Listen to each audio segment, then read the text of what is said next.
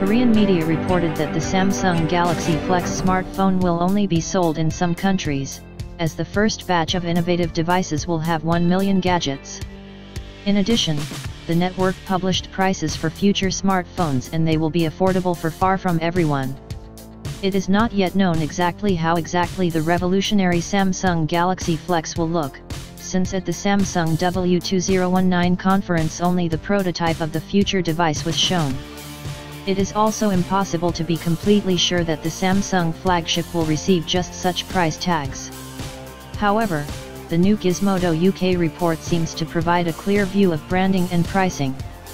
A mysterious informant said that the Samsung Galaxy Flex will cost from £1,500 to £2,000 sterling, about 51,500 to 68,700 hryvnia.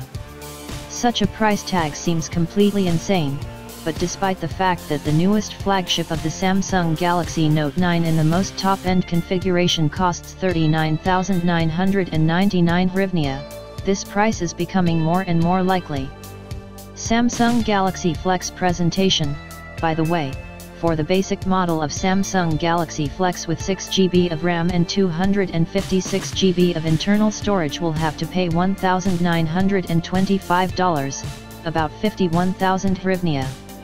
If suddenly you want to buy an innovative device in the top configuration with 512 GB of internal memory, it will cost $2,565, about 67,900 hryvnia.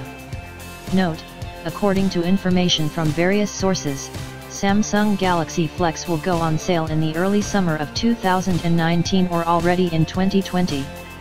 A full-fledged presentation of the novelty is planned as part of the MWC 2019 exhibition at the end of February.